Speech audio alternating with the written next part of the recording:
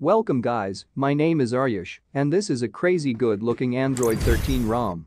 It gives looks and customization of Oxygen OS 13. After using it for the last 7 days, I can say it's a great ROM for daily usage plus gaming. So, guys, the name of this ROM is Nusantara OS version 5.8. It's based on Android 13, and I am using the latest version of this ROM. It's a System X based ROM and enforcing build. So, for flashing this ROM, make sure to use the latest System X TWRP recovery, whose link is in the description.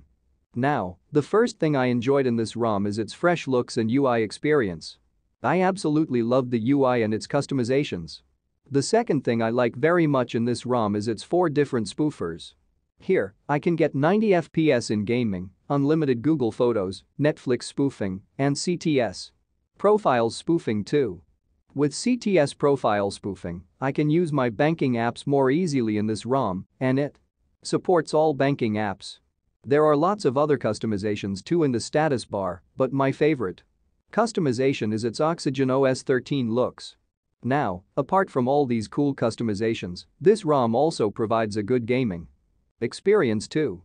With the latest No Gravity 4 for kernel, my CPU throttle scores are 241,000 plus with 95% of max CPU throttle.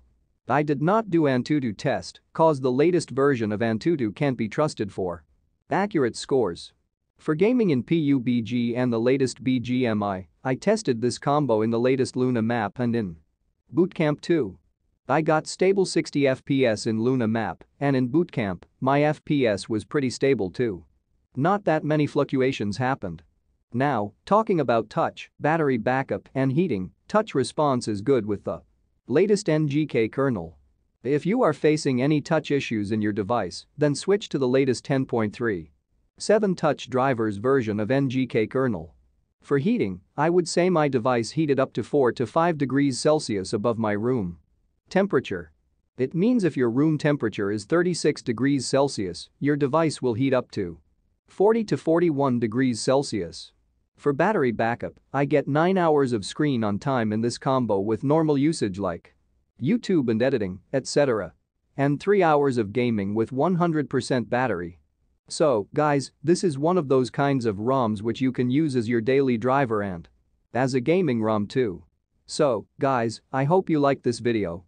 If you enjoy such content, then make sure to like and subscribe to my channel and enjoy FPS test.